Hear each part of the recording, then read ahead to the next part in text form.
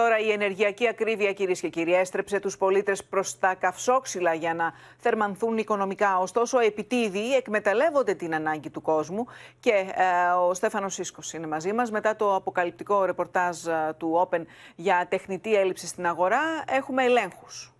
Ακριβώς, Λίνα. Το ρεπορτάζ του Open αποκάλυψε αθέμητες πρακτικές που δημιουργούν τεχνητή έλλειψη με αποτέλεσμα να ανεβαίνουν οι τιμές στην αγορά των καυσόξυλων.